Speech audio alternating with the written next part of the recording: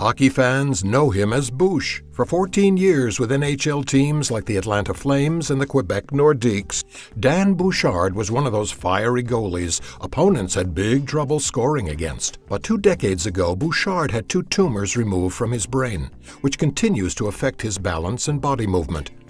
That finally brought him here, to Atlanta's Life University Functional Neurology Clinic, the it place for the growing number of patients, including current football and hockey superstars, suffering from head trauma and concussions. I exhibited uh, symptoms of uh, poor balance, uh, poor sleep habits. Um, my, uh, my face would droop uh, a good deal and uh, a lot of nervousness. As one of the team of specialists assembled by Life University's renowned Dr. Frederick Carrick, Dr. Susan Esposito, a board-certified chiropractic neurologist, has prescribed what's known as advanced vestibular rehabilitation for Bouchard. That includes one of the most cutting-edge pieces of technology around, a computer-controlled multi-axis gyrostim, which administers powerful doses of stimulation directly to the brain. Dan has developed different patterns of movement and balance, and so we've prescribed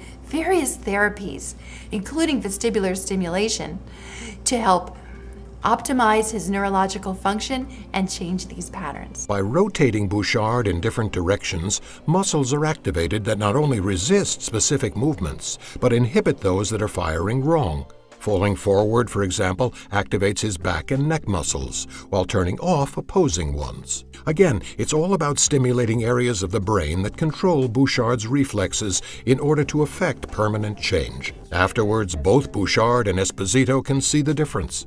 Not every patient who comes to the university's neurology center after largely failing in other therapies requires sessions on the gyrostim, but all go through a battery of individually designed tests and treatments. That includes, in Bouchard's case, donning special goggles with cameras on front that allow doctors to watch his eyes react to different visual stimulation.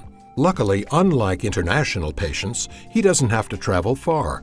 Bouchard currently coaches the university's successful hockey team, and boy, can he tell his goalie what constitutes a memorable save.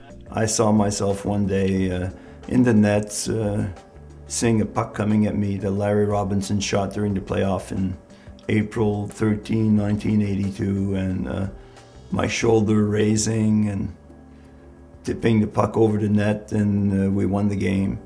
To learn more, visit yes2chiropractic.org.